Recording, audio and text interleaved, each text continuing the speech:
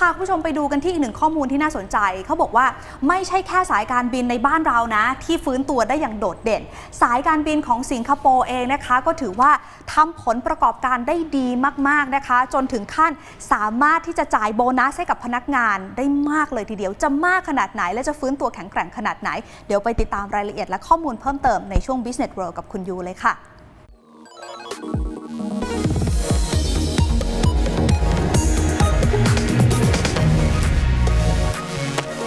ธุรกิจสายการบินในภูมิภาคอาเซียนเติบโตขึ้นอย่างน่าสนใจในเบรกแรกเรานำเสนอให้คุณผู้ชมรับทราบไปแล้วนะคะ ว่าธุรกิจสายการบินในบ้านเราเติบโตคึกคักมากกำไรกลับมาเพียบเลยนะคะ ทีนี้พาคุณผู้ชมไปดูสิงคโปร์แอร์ไลน์กันบ้าง โอ้โหเขาทำกำไรสูงสุดในประวัติการณ์ตั้งแต่ก่อตั้งบริษัทมา 76 ปี ก็เลยแจกโบนัสให้พนักงานแบบจุกๆกันไปเลยนะคะทางสิงคโปร์แอร์ไลน์สายการบินที่ถือว่าดีที่สุดในโลกสายการบินหนึ่งนะมีการประกาศแจกโบนัส8เดือนให้กับพนักงานค่ะ หลังจากทำกำไรสูงสุด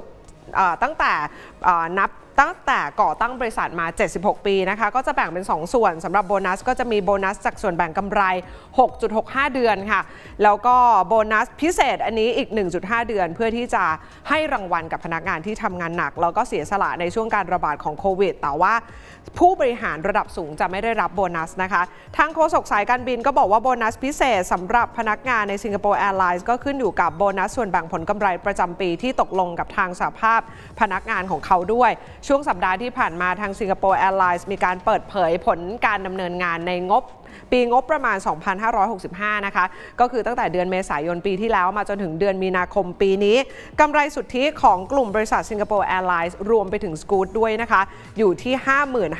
55,135 ล้านบาทค่ะ มีรายได้อยู่ที่ 453,695 ล้านบาทนะคะ เพิ่มขึ้นจากปีงบประมาณก่อน ซึ่งปีงบประมาณก่อนเนี่ยก็มีรายได้แต่ว่ายังขาดทุนอยู่ ซึ่งตอนนั้นนะคะมีรายได้ประมาณ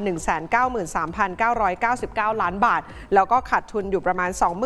24,555 ล้านบาท ถือว่าเป็นข่าวดีจริง ๆ นะคะ เพราะอะไร เพราะว่ายอดขายตั๋วล่วงหน้าแข็งกร่งทุกชั้นโดยสาร โดยเฉพาะตั๋วที่ไปจีน ญี่ปุ่น เกาหลีใต้ ซึ่งสิงคโปร์แอร์ไลน์ก็สามารถเพิ่ม flight บินได้อย่างรวดเร็วในเวลาอันสั้นด้วยนะคะ เพราะว่ามีความต้องการเดินทางเพิ่มขึ้น หลังจากสิงคโปร์มีการเปิดประเทศ เต็มที่ในเดือนเมษายนปี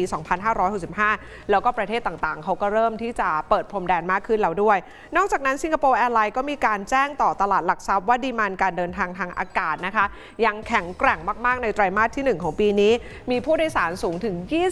26.5 ล้านคนนะคะ สูงกว่าปีงบประมาณปี 2564 ถึง 6 เท่าเลยทีเดียวจำนวนผู้โดยสารเฉพาะเดือนมีนาคมนะคะปี 2566 ที่ผ่านมาเนี่ยเพิ่มขึ้นร้อยละ 79 ของระดับ ก่อนเกิดโควิดแล้วด้วยนะคะ แล้วก็เฉพาะเดือนเมษายน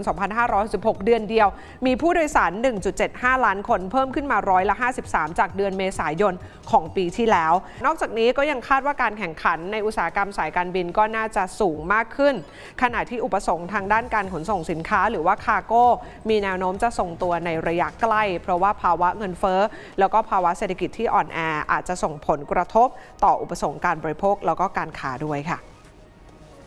อย่างน้อยฟังเราก็ชื่นใจนะคะ ธุรกิจการท่องเที่ยวบ้านเราเองก็กลับมาฟื้นตัวเหมือนกัน คาดการณ์กันเหมือนกันนะคะ ว่านักท่องเที่ยวต่างชาติจะมาบ้านเราปีนี้ลุ้นกันค่ะคุณผู้ชมว่าจะครบ 30 ล้านคนไหม และนี่ก็คือทั้งหมดของ Business World ค่ะ